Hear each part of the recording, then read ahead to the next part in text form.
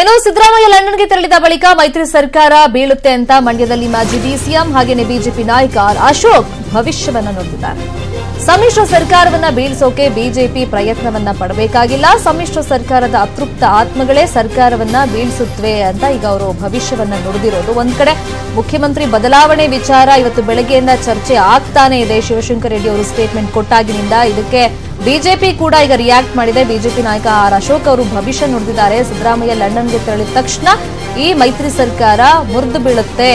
ಸಮ್ಮಿಶ್ರ ಸರ್ಕಾರವನ್ನು ಬೀಳ್ಸೋಕೆ ನಾವು, ಅಂದ್ರೆ ಬಿಜೆಪಿ ಪಕ್ಷದವರು ಏನು ಪ್ರಯತ್ನ ಪಡಬೇಕಾಗಿಲ್ಲ. ಸಮ್ಮಿಶ್ರ ಸರ್ಕಾರದಲ್ಲಿ ಇರುವಂತಹ ಅತೃಪ್ತ ಆತ್ಮಗಳೇ ಈ ಸರ್ಕಾರವನ್ನ ಬೀಳ್ಸುತ್ತವೆ ಅಂತ ಈಗ ಅವರು ಮಂಡ್ಯದಲ್ಲಿ ರಿಯಾಕ್ಟ್ ಮಾಡಿರೋದು. ಈ ಕೆಲಸ ಸಿದ್ದರಾಮಯ್ಯ ಮಾಡ್ತಾರೋ ಡಿಕೆಶಿ ಮಾಡ್ತಾರೋ ಅವೆಲ್ಲ ಗೊತ್ತಿಲ್ಲ. ಆದ್ರೆ ಆದಷ್ಟು ಬೇಗ ಈ ಸಮ್ಮಿಶ್ರ ಸರ್ಕಾರ ಪತನ ಆಗುತ್ತೆ ಅಂತ ಮಂಡ್ಯದಲ್ಲಿ ಆರ್ ಅಶೋಕ್ ಅವರು ಭವಿಷ್ಯ ನುಡಿದಿರೋದು.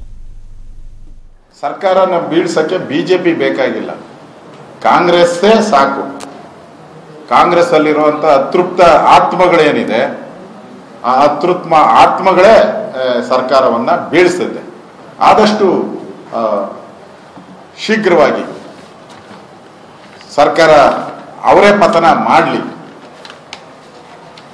ಸಿದ್ದರಾಮಯ್ಯನವ್ರು ಮಾಡ್ತಾರೋ ಇನ್ನೊಬ್ಬರು ಮಾಡ್ತಾರೋ, ಡಿ ಕೆ ಶಿವಕುಮಾರ್ ಮಾಡ್ತಾರೋ, ಯಾರು ಮಾಡ್ತಾರೋ ಗೊತ್ತಿಲ್ಲ, ಮಾಡಲಿ. ಆಮೇಲೆ ನಮ್ಮ ಬಿ ಜೆ ಅಧಿಕಾರವನ್ನು ನಾವು ತೆಗೆದುಕೊಳ್ತೀವಿ.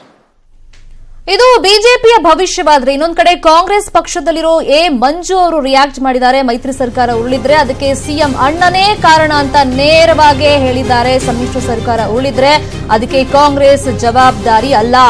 ಈ ರೀತಿಯಾಗಿ ಬಿಸಿಲೆಯಲ್ಲಿ ಮಾಜಿ ಸಚಿವ ಎ ಮಂಜು ಸ್ಫೋಟಕ ಹೇಳಿಕೆಯನ್ನ ಕೊಟ್ಟಿದ್ದಾರೆ.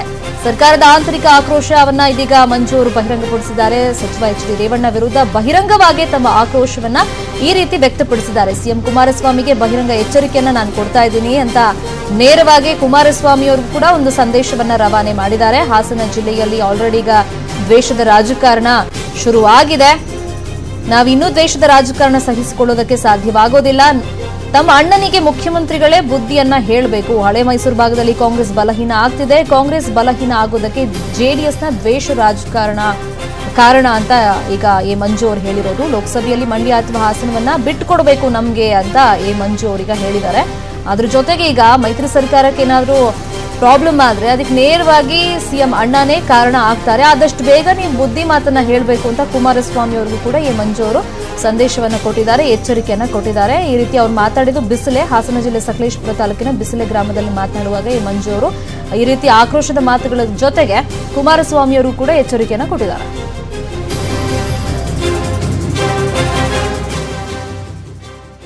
ಕುಮಾರಸ್ವಾಮಿ ಅವರಿಗೆ ನಾನು ಇವತ್ತು ಮನವಿಯನ್ನ ಮಾಡ್ಕೋತೀನಿ.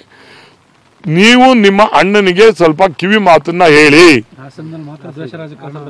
ಇಲ್ಲಿ ನಿಮ್ಮ ಅಣ್ಣನಿಗೆ ನೀವು ಹೇಳದೇ ಇದ್ರೆ ಮುಂದಿನ ದಿನಗಳಲ್ಲಿ ಈ ಸರ್ಕಾರಕ್ಕೆ ಏನಾದ್ರು ಕೂತು ಬಂದ್ರೆ ನಿಮ್ಮ ಅಣ್ಣನಿಂದನೇ ಬರ್ತದೆ ಅನ್ನೋದನ್ನ ದಯಮಾಡಿ ಜ್ಞಾಪಕ ಇಟ್ಕೊಳ್ಳಿ. ನಮ್ಮ ಪಕ್ಷದಿಂದ ಅಲ್ಲ.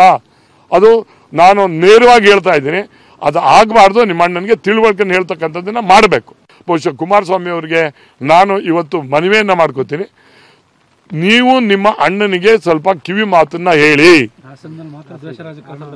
ಇಲ್ಲಿ ನಿಮ್ಮ ಅಣ್ಣನಿಗೆ ನೀವು ಹೇಳದೇ ಇದ್ರೆ ಮುಂದಿನ ದಿನಗಳಲ್ಲಿ ಈ ಸರ್ಕಾರಕ್ಕೆ ಏನಾದ್ರು ಕುತ್ತು ಬಂದರೆ ನಿಮ್ಮ ಅಂಡನಿಂದನೇ ಬರ್ತದೆ ಅನ್ನೋದನ್ನು ದಯಮಾಡಿ ಜ್ಞಾಪಕ ಇಟ್ಕೊಳ್ಳಿ. ನಮ್ಮ ಪಕ್ಷದಿಂದ ಅಲ್ಲ.